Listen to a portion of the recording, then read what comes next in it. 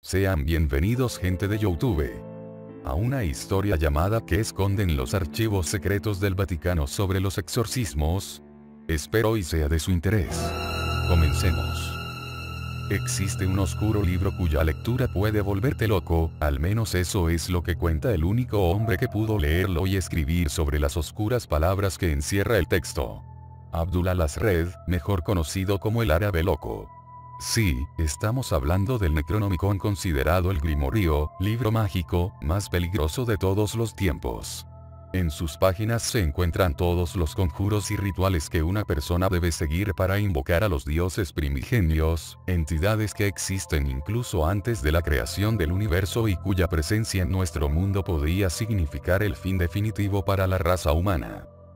Hay rumores de que el único ejemplar de este tenebroso libro, cuya cubierta está forrada con piel humana, se encuentra resguardado en las bóvedas secretas del Vaticano, como uno de los afiches más peligrosos en el archivo. Pero siendo realistas, la existencia de este oscuro objeto es puesta a consideración. Todas las versiones que circulan en el mercado son recopilaciones que las editoriales realizan para tener su propia versión, así que la posibilidad de que se encuentre dentro del catálogo de la Santa Sede es nula.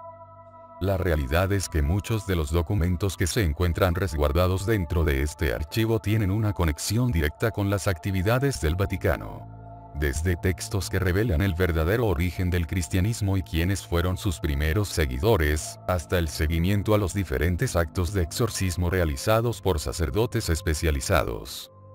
Entre quienes se dedican a este ritual contra el demonio, la figura de Gabriel Amor quien durante su vida sacerdotal realizó más de 70.000 exorcismos reveló muchos de los secretos escondidos detrás de esta antigua práctica. La mayoría de las personas se preocupan por saber si todo lo que ocurre en las películas es cierto el vómito sin fin, voces extrañas y cuerpos levitando. Sin embargo, pocos han reparado en las verdaderas intenciones de las entidades demoníacas que, según la Iglesia Católica, entran en el cuerpo de las personas.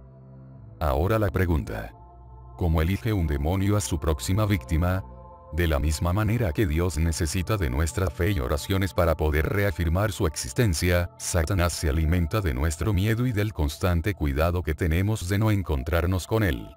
Algo que en tiempos en que la ciencia está ganando terreno sobre la religión, es justo pensar que estas dos fuerzas buscan manifestarse y probar su existencia como de lugar y precisamente eso es una posesión demoníaca la manera en la que un demonio nos grita que está presente en el mundo, acercándonos en todo momento.